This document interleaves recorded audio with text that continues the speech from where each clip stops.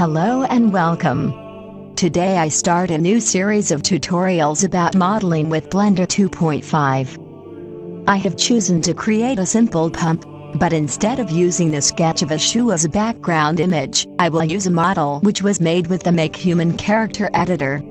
This will become my reference for a human foot model. And I will sketch the shoe by using Blender's Grease Pencil. First open the Avatar workbench, then switch to Layer 2, and finally Shift select Layer 10. Now the armature and the MakeHuman character can be seen together. Right-click on the armature foot, and select Pose Mode. Then shift right-click on the left foot, go to front view, and finally rotate the foot into the correct pose. And then proceed in the same way with the toes.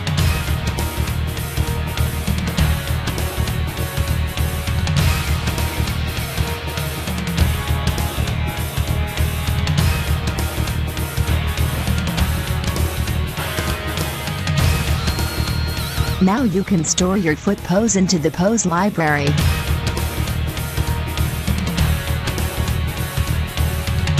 The pose can be renamed with the operator panel in the 3D view.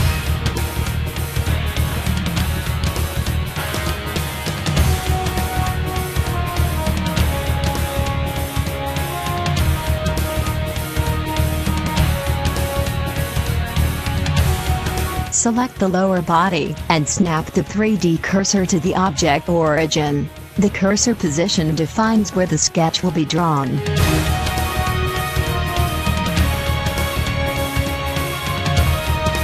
You can change the color of the grease pencil in the Properties panel.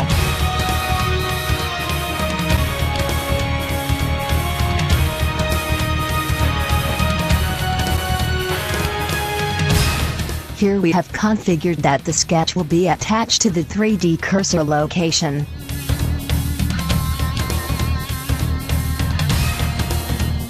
A sketching session allows us to enter multiple strokes one at a time.